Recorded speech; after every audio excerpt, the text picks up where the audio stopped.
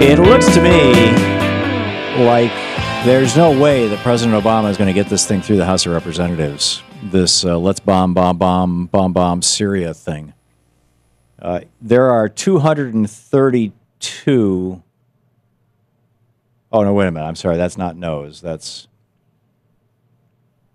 Well, where's the no's?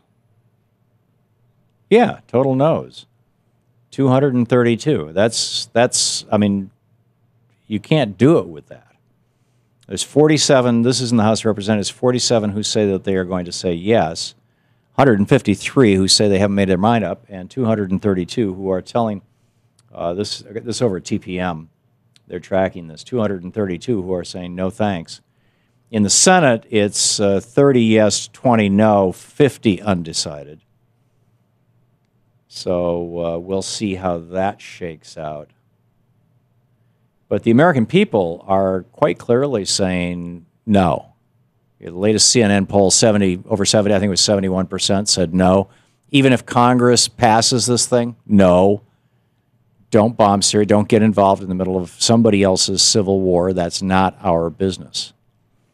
Now, the arguments that are being made, and had uh, Ron and I had an opportunity to actually get into the debate, this kind of new news blew open our conversation, but the arguments that are being made are that, you know, hey, we, we took out Gaddafi and that seemed to work out pretty good.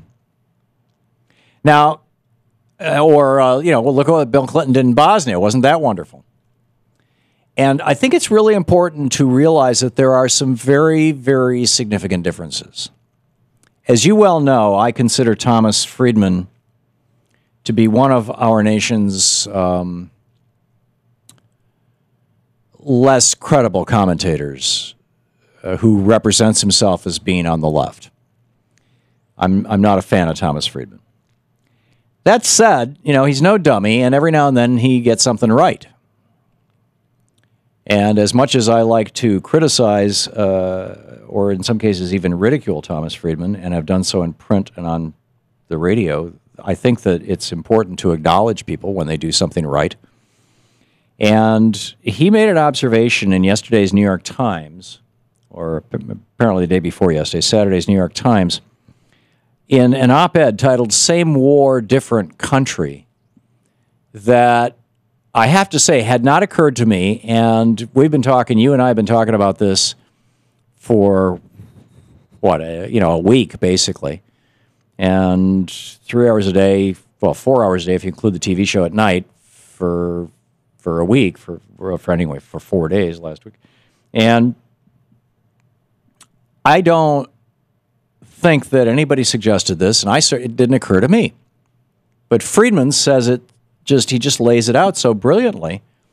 He points out that first of all, in Bosnia, it's that you can't draw a parallel to Bosnia.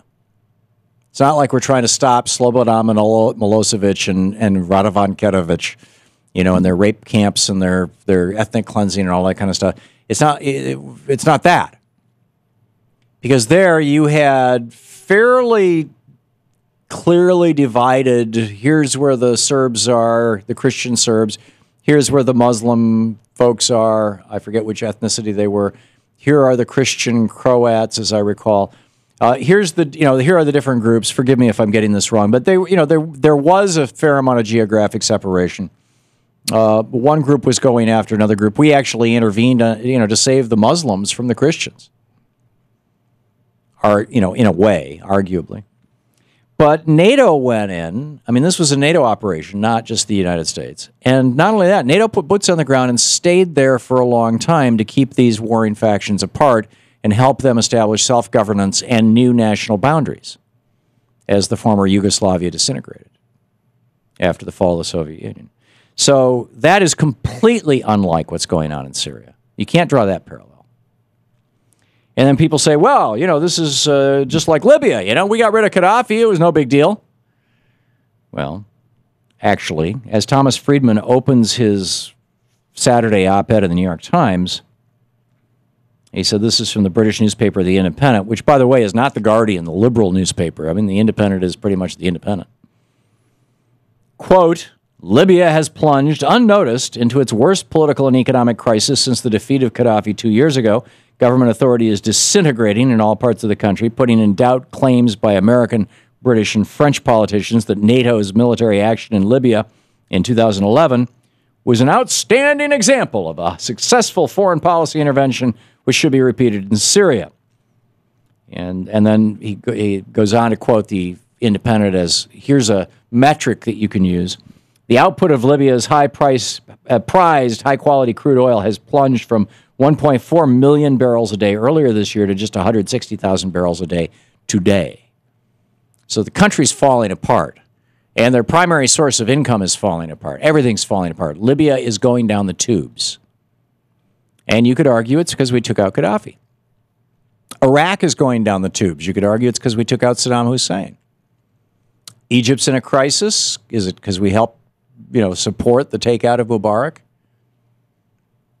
So what's going on here? Well, uh, what Thomas Friedman points out is that they're all the same war.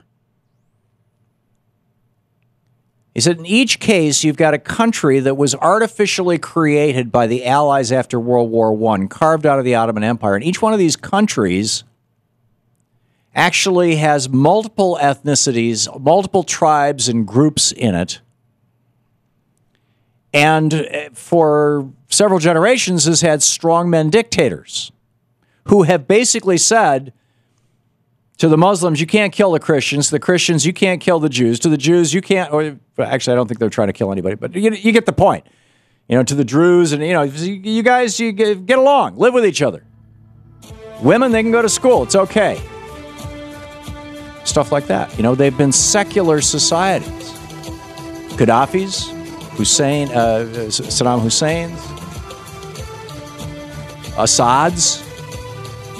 And when you take that dictator out, all these groups start going after each other. And you get a civil war that could last 100 years to resolve. You're listening to the Thom Hartmann Program. Call 866 987 THOM. Which is another really, really strong reason to say, no, wait a minute, let's stop. In fact, let's stop even arming the rebels like we've been doing. Time to just back out and get out of it.